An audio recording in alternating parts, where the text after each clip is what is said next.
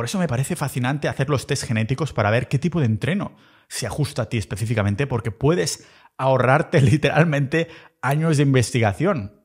Hay estudios que miran exactamente esto, al tipo de composición de las fibras musculares más conjuntos de genes para que se pudiera ajustar al entreno según la genética del sujeto. Se vio un efecto gigantesco que no se puede obviar y no puedo creer que no se hable más de esto en el mundo del fitness. Viene el potencial que tiene entrenar según tus genes, ¿no?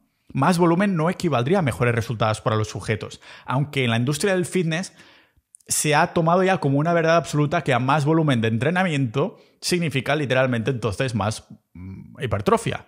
Quizás para la mayoría de población sí, pero como se ve en estos estudios, más volumen no equivaldría a mejores resultados para todos los sujetos en general, sino que más intensidad ofreció mejores resultados para algunos, mientras que más volumen ofreció mejores resultados para otros.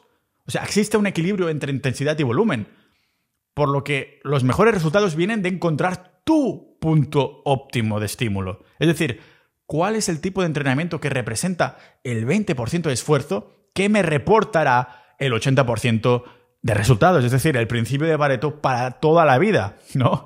En este caso también en el del entrenamiento.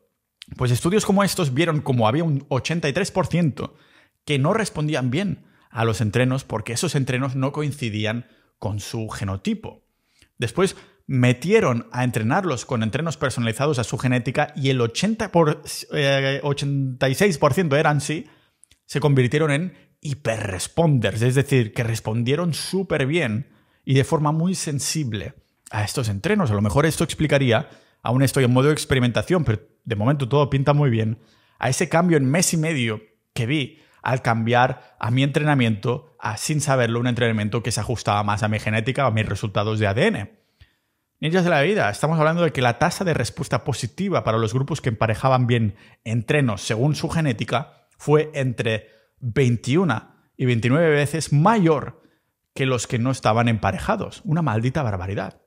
Si tienes 300 o 400 euros y quieres conocerte más, conocerte a ti más, entonces recomiendo encarecidamente este test genético que me hice, que además te da centenares de resultados más relacionados con tu salud, tus hábitos y todo el rollo.